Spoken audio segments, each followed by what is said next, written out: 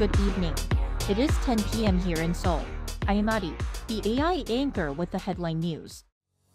South Korea will enact a special law to turn the city of Busan into a global business hub, as the country looks to narrow gaps and spur development across regions outside the capital. That's according to President Yoon Suk-yeol on Tuesday, who held the 11th round of policy discussions with citizens in the southern coastal city, under the theme, Busan, as the gateway to an era of regional growth. Yoon said that a special law would foster logistics, finance and high-tech sectors, establishing a new airport on Gadeok Island, relocating the Korea Development Bank to the city, and redeveloping the North Port.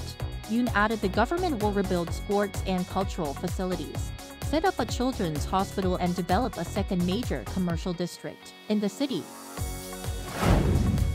For the third month in a row, in January, foreign investors became net buyers of South Korean stocks, according to data from the central bank on Tuesday.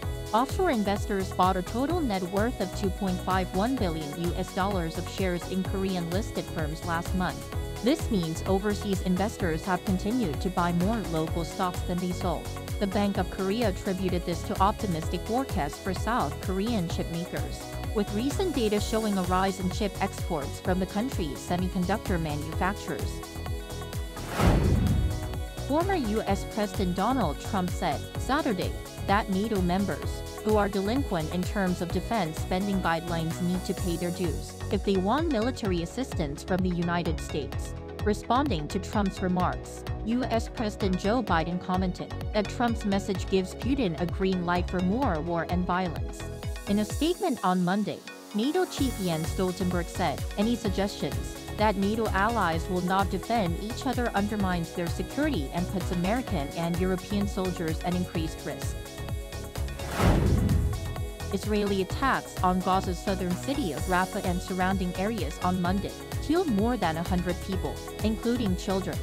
Israeli Prime Minister Benjamin Netanyahu proceeded with the military operation, despite international warnings and criticism including from U.S. President Joe Biden, who said the Israeli leader that Israel should not proceed without a credible and executable plan to protect Palestinian civilians sheltering there.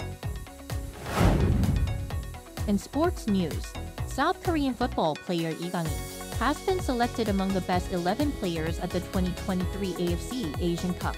The Paris Saint-Germain attacking midfielder is the only Korean player who made the AFC team sheet which was announced on Tuesday.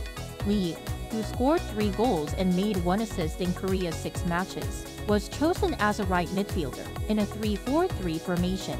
Host country and back-to-back champions Qatar have the most players on the list, with four. That brings us to the end of tonight's AI headline news. Thank you for watching. Good night.